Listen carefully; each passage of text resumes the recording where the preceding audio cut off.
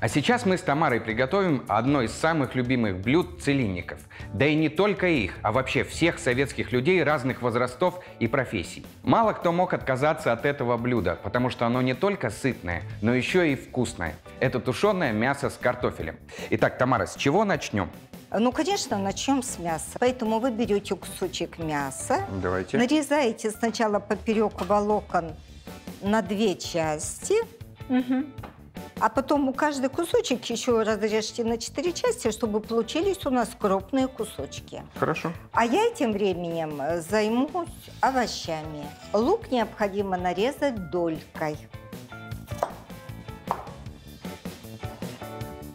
Я сейчас начинаю мясо солить, перчить и выкладывать. А какие еще вторые блюда могли подавать на целине?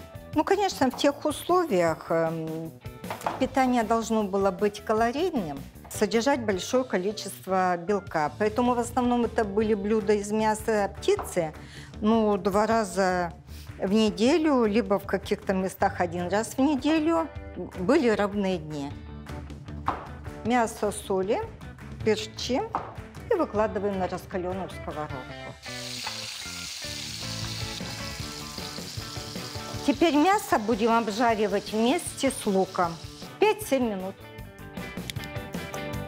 Морковь порезали. Все, добавляйте. Добавляем. Добавляйте. Все вместе еще обжариваем минут 5-7, а потом добавляем картофель.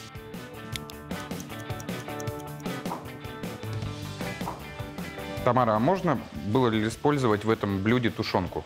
Конечно, особенно в таких полевых условиях, если либо был сбой в снабжении, конечно, э, тушенка была палочкой-выручалочкой и всегда использовали при приготовлении. А мясо можно было любое для этого блюда использовать?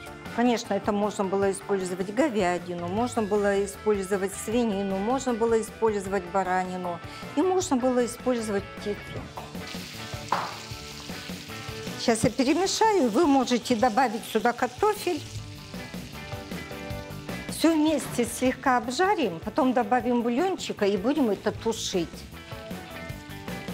Тамара, вот смотрите, я заметил, что вы посолили мясо и поперчили перед жаркой. А почему нельзя этого сделать в процессе приготовления?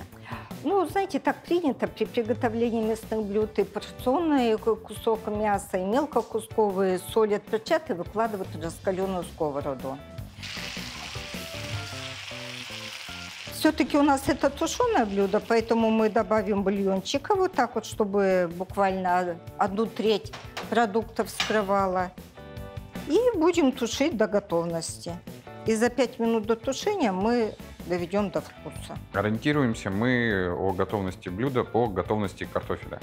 Ну да, мясо уже у нас практически готово, потому что мы его обжарили сначала само по себе, потом обжаривали с луком, с морковью, с картофелем.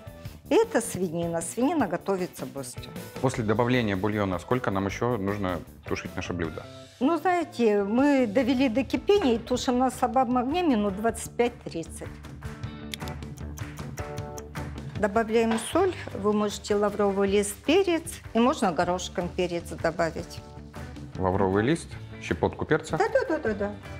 Давайте И побольше.